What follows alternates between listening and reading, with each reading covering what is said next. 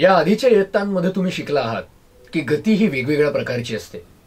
उदाहरणार्थ ज्या ठिकाणी एखाद्या वस्तूचे स्थान प्रत्यक्ष बदलते त्याला स्थानांतरणीय गती म्हणजेच डिस्प्लेसमेंट मोशन असे म्हणतात.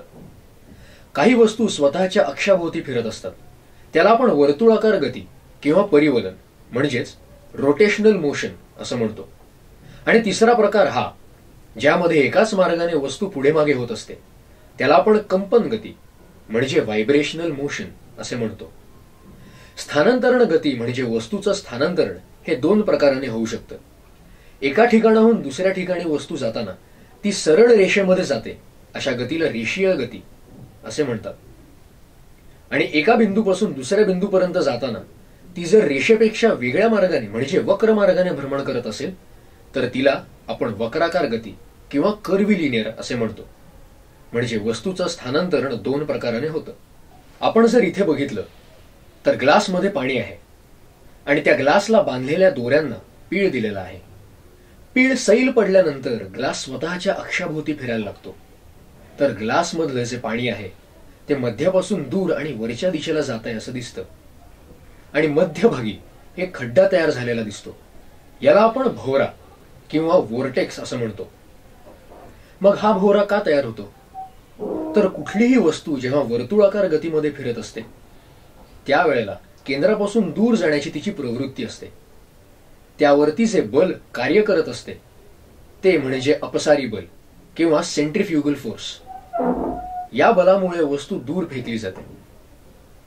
इथं फिरणारं पाणी केंद्रापासून दूर जायचा प्रयत्न करतं परंतु ते ग्लासच्या भिंतीमुळे अडलं जातं. आणि म्हणून ते वरच्या दिशेला उचललं जातं.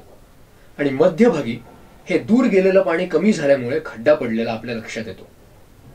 एखाद्या दोऱ्याच्या टोकाला दगड बांधला आणि तो दगड जर आपल्या डोक्याभोवती दोऱ्याच्या सहाय्याने फिरवला तर आपल्या लक्षात येतं की आपल्या हाताला ओढ बसलेली ज्या क्षणी आपण आपल्या हाताचे बल काढून घेऊ त्या क्षणी दोऱ्यावरचे बल संपुष्टात येईल आणि दगड हा दूर फेकला जाईल.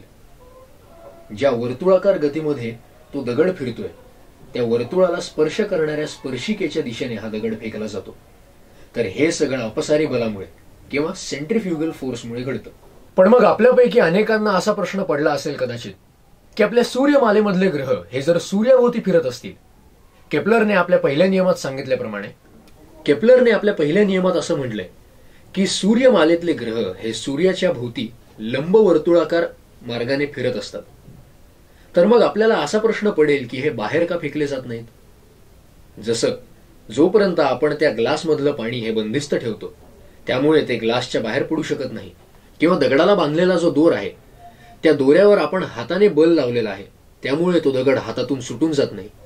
तसं हे ग्रह कशामुळे सूर्यभोवती फिरतायत? तर मग त्याला असं म्हणावं लागेल की एक कुठलं तरी बल असलं पाहिजे की जे ह्या अपसारी बलाच्या म्हणजे सेंट्रिफ्युगल फोर्सच्या विरोधी कार्य करते याला अभिकेंद्री बल किंवा सेंट्रीपेटल फोर्स असं म्हणतात. केपलरच्या हे लक्षात आलं नव्हतं.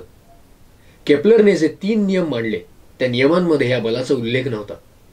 पण केप्लर नंतर न्यूटनने जेव्हा या सगळ्याचा अभ्यास केला तेव्हा न्यूटनच्या असं लक्षात आलं की असं बल असतं जे केप्लरच्या लक्षात आलेलं नाही.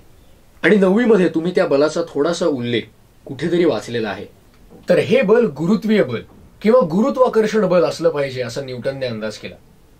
आणि या गुरुत्वीय बलामुळे म्हणजेच हे जे अभिकेंद्री बल आहे त्यामुळे सगळे ग्रह हे सूर्याभोवती विविध भ्रमण कक्षांमध्ये फिरत राहतात.